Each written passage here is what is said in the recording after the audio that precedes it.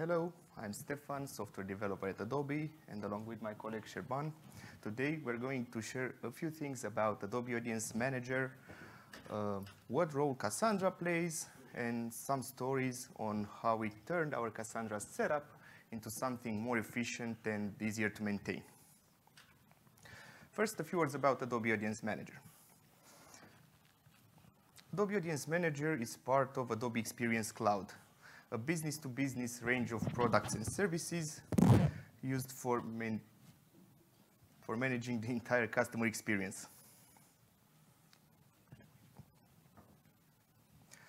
Audience Manager is a data management platform service. Its main goal is to answer the question, who is this user? To achieve this, billions of data points are collected, classified, and organized. Uh, the operation scale of this service is really big. I'll present some numbers shortly. In order to minimize client request latency, data is collected through eight geographically distributed edge data centers, as shown here. All the data collected through these centers is then pushed to a core database, a, a setup of HBase running in a single central location. Afterwards, the most recently used data is pushed back to the edge locations so that each location stores a persistent cache of the entire core data. And this is where you use Cassandra for. Uh, some numbers here. We've got a peak number of daily client requests in Audience Manager of 51 billion. That translates to roughly 313 billion of daily Cassandra requests. Uh, as already mentioned, we are uh, deployed in eight AWS regions. We are running 34 Cassandra clusters on more than 800 instances, holding 260 terabytes of data. Now that you have an image on who we are, let me uh, tell you uh, what subjects we are going to discuss in this presentation. First, our architecture and its particularities. Then, split brain, dividing an edge location without downtime. Event-driven automation, a process that we have successfully implemented. And token awareness, a Cassandra feature that really challenged us. So we go on with the architecture. We'll go from the core database, as previously mentioned, an HBase setup in a single central location. Uh, its main purpose is to uh, store persistently all the data that we collect, and also it is used for batch processing. Data here uh, arrives from the data collection service, we'll talk about it, but also from other flows. The profile cache service, how we officially call the Cassandra setup, is the caching system that is present in all the eight edge regions. It has two types of clusters in terms of usage patterns, and on the other hand, it has two other two types of clusters in terms of data access management, backend and real-time. We'll, elab we'll elaborate this. The data collection service is the Java application that serves the client requests, interacting with Cassandra, and also uh, pushing data to the core database. Uh, it only writes data in the real-time clusters, uh, but it reads it from both the backend and real-time clusters, and merging the result before sending a final response. And I'll tell you why. But now back to our main focus, the Cassandra setup. There are four main Cassandra clusters in each of the edge regions, along with two uh, special clusters only in the US regions that serve for a different purpose. So in total, we are managing 34 Cassandra clusters. Our smallest setup has four nodes, while our biggest one was our, our biggest one ever was scaled to 148 nodes. Um, regarding the profile and ID mapping clusters, uh, they have different uh, schemas and have been separated due to a difference in the ratio of reads to writes, which means that they need to be scaled separately. So it was more efficient to uh, split them apart. In terms of data access, we have the real-time clusters that uh, support read and write operations from the data collection service. Uh, they contain new, fresh data, and that is only present in that particular edge region until around 24 hours later when it is pushed from the backend from the core database to the backend clusters in one or more regions. The backend clusters are read-only. New data only arrives through bulk loading from the core database. And the, the thing is that the data collection service, when serving a read request, reads data from both the backend cluster, where it is historically aggregated and usually more complex, and from the real-time cluster, where it is uh, recent, merging the response before sending it. An interesting feature of our setup is the replication factor of two that leads to a consistency level of one for both reads and writes. This basically means uh, endangering the consi consistency. Uh, we only wait for one of the nodes to one of the nodes that uh, hold the data for a request to return the fastest one, as shown in the illustration that I prepared. So we have a DCS request that reaches a coordinator node. It is forwarded to the replicas that hold that particular data. The coordinator waits for only one response before forwarding it to the DCS, the other response being dismissed. Why are we okay with this? First of all, because it's cost effective. For storing data, we only use two-thirds of the infrastructure uh, used required for a replication factor of three, because obviously we are storing one-third less data but we also assume that we provide a better latency because we only wait for, for the fastest replica to respond, not for the fastest two replicas to respond. Then, regarding consistency, we are well covered by our bulk loading mechanism. All the data reaches eventually after, after most 24 hours the backend clusters, which are read-only, and due to this characteristic, they always contain the same data on the main and the replica location. So no matter which one of them is the fastest to respond, the response is always the same. So inconsistencies might only appear in real-time region, in real-time clusters with fresh data, but are, however, seldom due to network issues or crash nodes that have faulty hint mechanisms. But in these cases, we are covered by our, by our SLAs because we still provide data accurate enough. And let me illustrate this. Let's say that we have a write request to, our, to the real-time cluster for profile one with color red that reaches both of the replica locations. Then we have a write request for profile one with color green that only reaches one replica location. And then a read request for profile one. It reaches the outdated replica in the real-time cluster and the backend cluster. When we get the responses, the data in the backend cluster is more complex, while the data in the real-time cluster is not the most up-to-date. So we merge the result, send it to the DCS and then to the client. And the idea is that we provide not the most up-to-date data, but we provide an updated data relative to what we have in the backend cluster. And we and this is considered correct enough. But anyways, this happens rarely.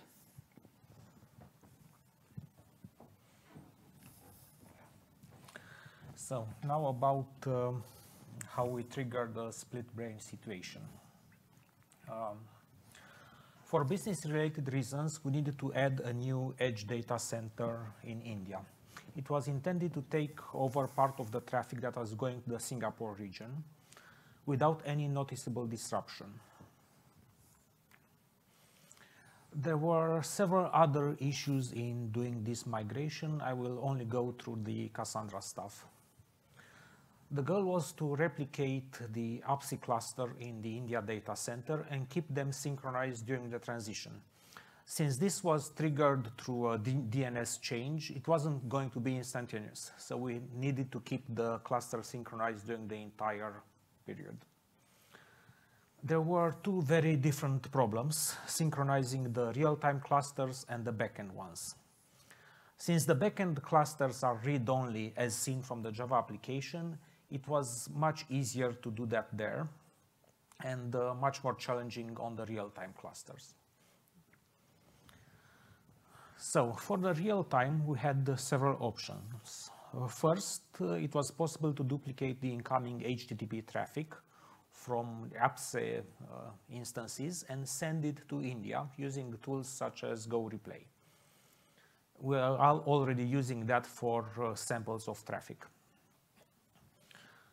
Then uh, the uh, DCS servers from India would write the data to their Cassandra clusters.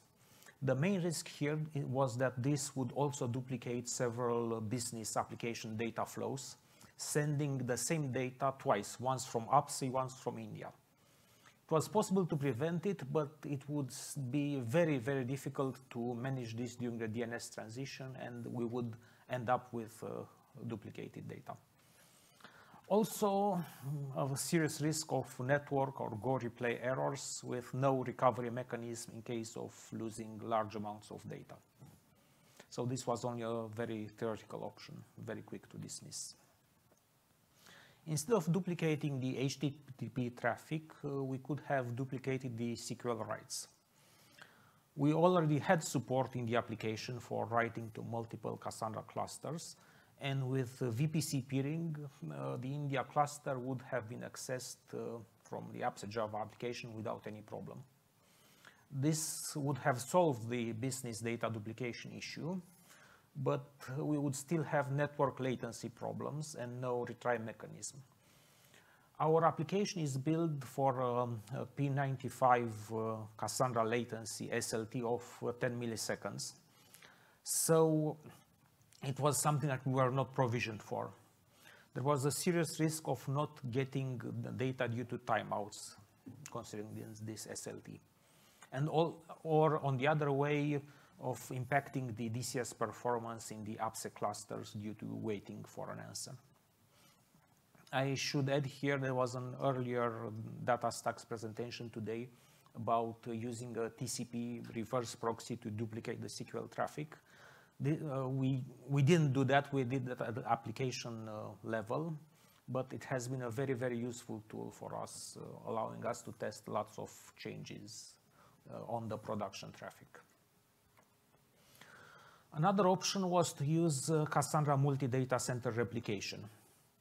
This will solve the network and latency issues since the writes will, will go only to the APSE region and allow uh, Cassandra to take care of the synchronization. The main drawback here was the potential impact on changing the APSE production clusters. Also, lack of experience since we never used this before. And then we had no idea about how to split a multi-data center cluster into two regions. So uh, um, the last option is a combination of the second and the third. The idea was to create a duplicate cluster in APSE with the same mechanism with uh, writing to multiple clusters and then have a multi-data center replication between it and the new cluster in India. This way, the APSE production cluster would not be touched, so um, there, were, there was no danger there. And uh, we, there was no need to uh, do the split required by the third option. We would just uh, uh drop the uh, APSE uh, cluster. And on first look this, look, this was great. We decided to try it and we'll see why it didn't work. The first problem that we had was uh, the Cassandra snitch. According to documentation available then, the EC2 snitch that we used was, was supposed to run only for uh, single region deployments and multi-region deployments required Cassandra instances to use EC2 multi-region snitch and rely on public IP. But I also knew that uh, AWS had uh, somewhat recently added uh, intra-region VPC peering. So it could have been possible to use only private IPs in a multi-data center cluster the EC2 multi-region snitch was probably done before this was available. So I decided to look into the source code of the snitches. The EC2 multi-region snitch inherits the single region snitch, and it, it only does uh, what is in this uh, slide. It's not a lot. There is uh, import, important point here is that there is no rack data center logic, so that is probably done in EC2 snitch. And it's only doing two additional things. It's using public IP for, for broadcast and uh, sends gossip traffic on both public and private IPs. That's all that it's doing. So uh, that meant that EC2 Snitch has multi-data center support, it's just not using it. There was no reason why this would not work with VPC peering. And so this was worth testing. Uh, this would uh, prevent a snitch change, not to mention the uh, public IP uh, issue, which we were running only with private IPs. And in, in the end, it did work, and I made a small uh, open source contribution to update the documentation for to reflect the AWS uh, VPC peering. So uh, this was the plan. First, create a secondary cluster in APSE, set DCS, the Java application, to read-write to this cluster, but not use the reads. Set up VPC peering, add India data center using the documentation provided by DataStax, connect India to its Cassandra clusters, do the DNS changes, and after these are propagated, destroy the APSE's secondary cluster using the documented procedure. And thus we would have a single region India cluster, which was the original goal.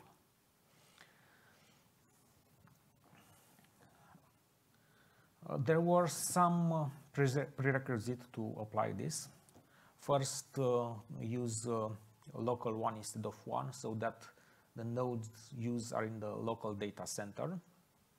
Uh, second, use uh, DC aware round robin policy instead of round robin policy. Otherwise, a remote coordinator will be chosen, creating latency issues. And we actually missed this initially, and well, we'll see later and put uh, network topology strategy on system key spaces, which is something that uh, actually was an earlier presentation advising to do this anyway. Um, to bootstrap, we start by uh, creating EC2 instances in the new data centers with seeds in both without starting Cassandra on them. Then add these new added uh, India seeds in apps instances and do a rolling restart. Start Cassandra on each node in India, first on seeds and then on the rest, alternating between AZs. At this point, these nodes have no data, and further, they don't see themselves as having any data ownership. And this is uh, basically this is the procedure documented by uh, DataStax, but it's something that is not uh, usually done a lot. So I, that's why I'm going through this. To change the ownership issue, an alter key space is required, declaring a new data center and its uh, replication factor. And uh, this will not trigger a data transfer. For that, uh, nodetool rebuild is required. Uh, so data will start be streamed from APSE, uh, just like on uh, adding or decommissioning uh, with the difference that this can be run in parallel uh, and uh, to monitor nodetool netstats is okay. Uh, several unforeseen problems. The easiest was there were actually uh, three system key spaces, not two. More serious was um, a very high number of timeouts on the APSE cluster. 375,000 versus 57 on a normal production cluster. It started when the APSE servers were restarted with the new India seeds added and stopped very abruptly when the new data center was added with uh, the alter key space. And this was, as mentioned earlier, this was due to not using the DC-aware, DC-aware uh, round-robin policy. So sometimes new, these new India instances were being selected as coordinators, triggering this uh, latency and timeouts. When we moved to DC-aware round-robin policy, uh, the timeouts were normal and it was barely possible to see any change when we did the uh, procedure. Another problem was the very, very poor token distribution. Uh, we are using um, the token allocation algorithm. And um, in India, we had one node with uh, 70% of the total data load and another with 0.7%. Uh, and it, it's quite normal if you think about it, since there is no data for the token allocation algorithm in that region to run on it on when the uh, when Cassandra is started and the uh, token ranges are allocated.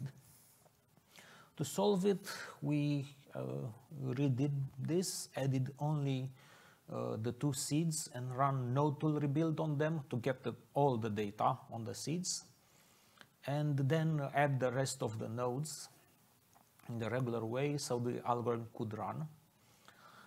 And obviously this required larger instances and would not work on uh, larger data sets.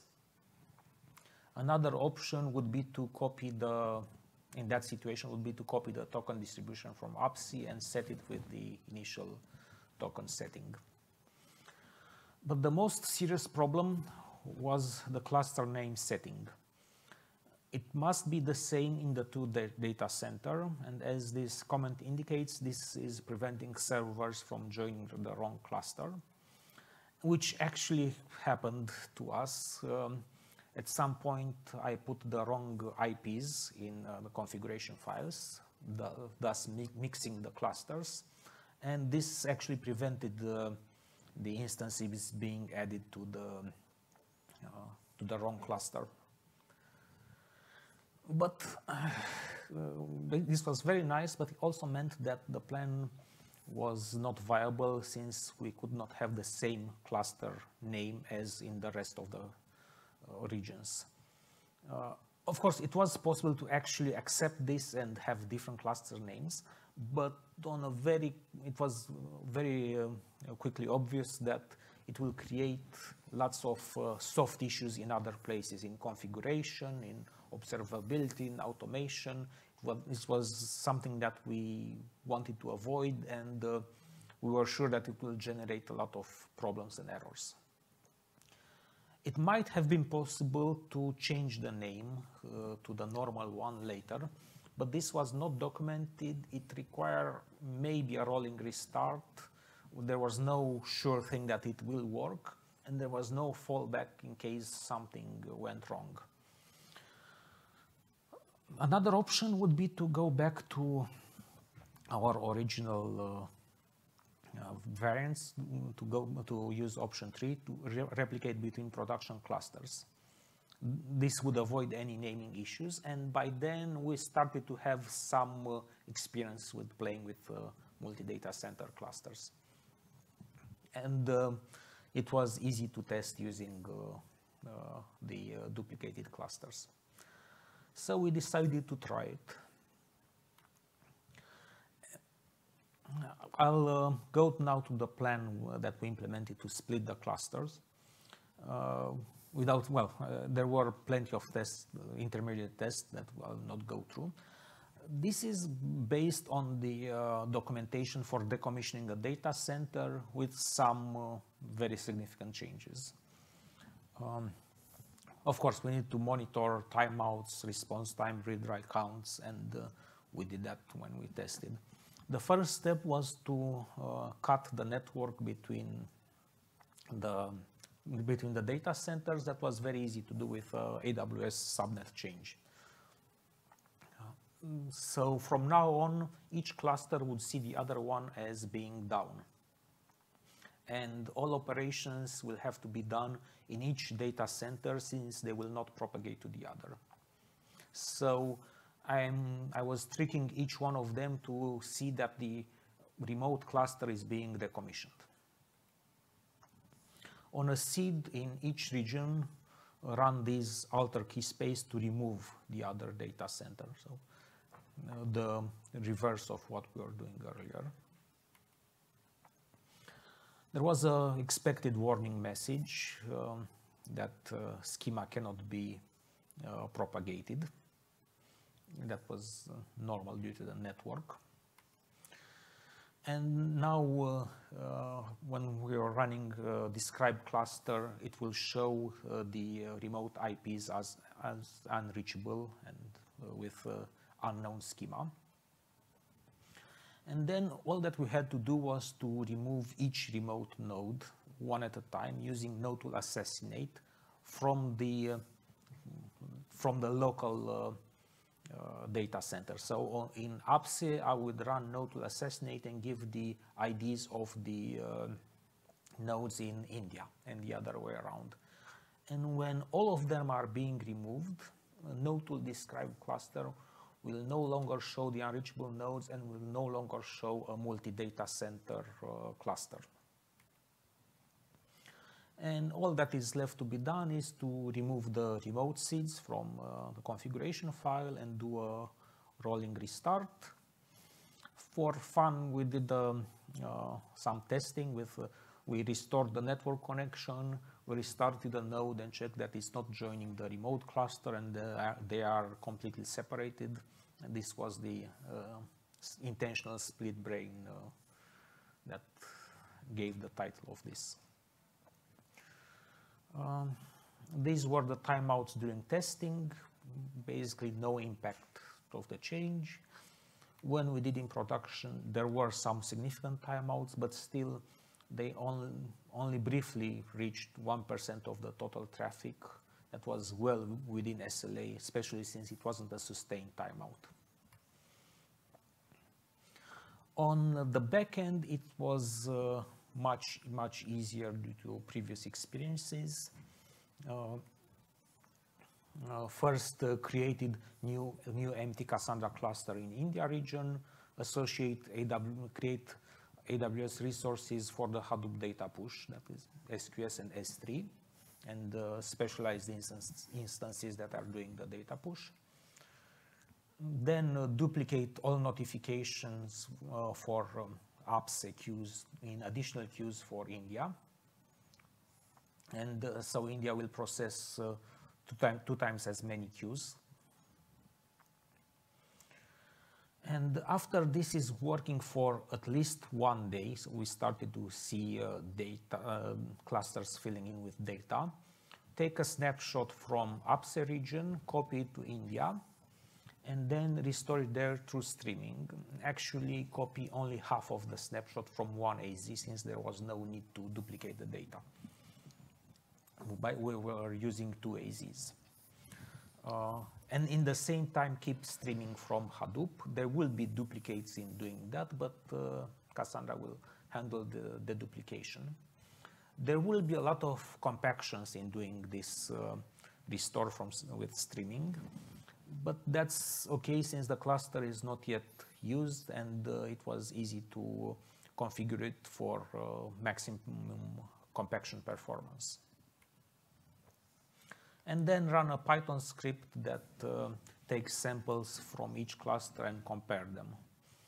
There were several problems also here, but nothing serious. Things like uh, instance availability, since India was back then a new region, or um, problems with AWS SDK versions. They were too old, they didn't have the India endpoints.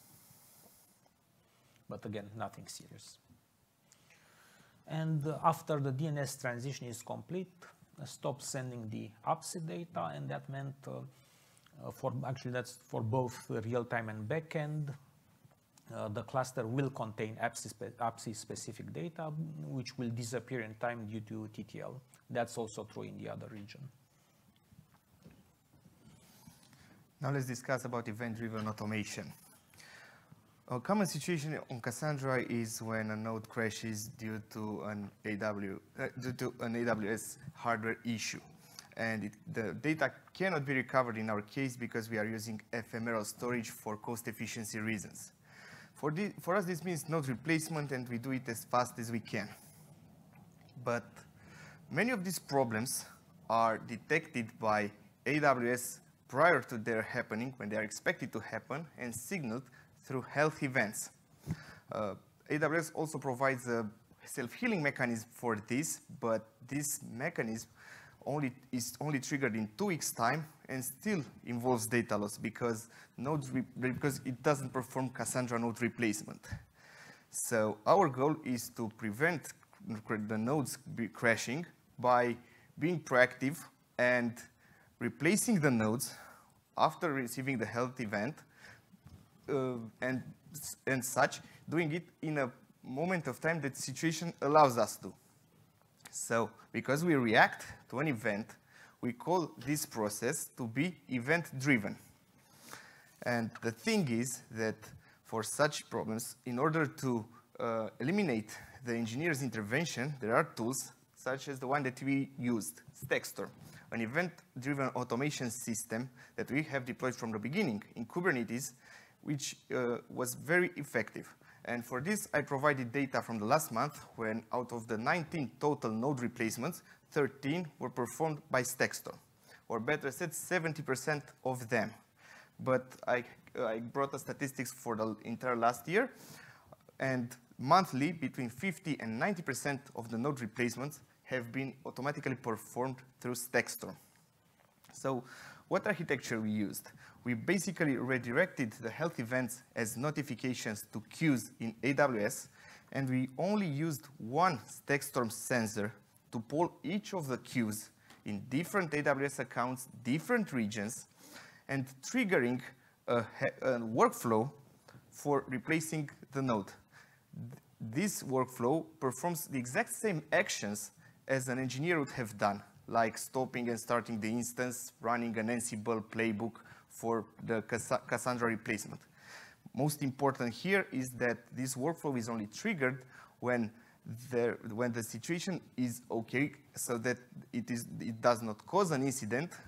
And for this reason, it checks that no neighboring node is down. So no, no other, node, other node that shares data with the one to be replaced uh, is down. And look, here is all we are aware about when Stackstorm does its job. A Slack message when it begins and the Slack message when it finishes. And, uh, the last topic, uh, short story about how we didn't actually use token-aware load balancing despite setting it. Uh, will, there will not be many details here about load balancing policies. I'm sure that it's known. It's a setting on the Cassandra driver which determines which nodes will be used as coordinators. Token aware will attempt to send requests to the node that owns the data. Our policy setting is latency aware over token aware, but it didn't really work without us realizing it. Um, this is, a, this is an example of latency aware behavior. On a separate occasion, I um, ran a test to change the JVM and garbage collection on one node inc that increased its latency, and then it started to receive only about 80% of the traffic of the others.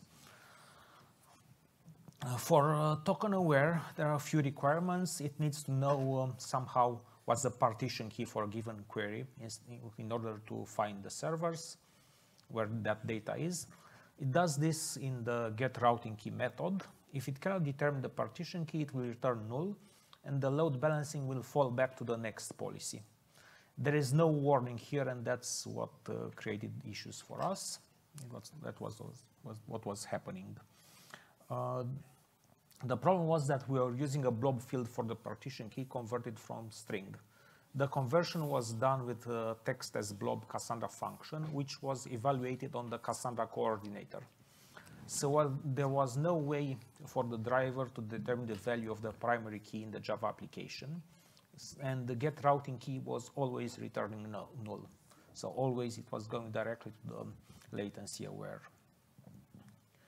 And fixing this was very simple. Stop using this function and convert uh, the value in our Java code with byte buffer util wrap function in all statements. Here is an insert statement, select one, and the usage of the wrap function. Very simple and uh, very effective.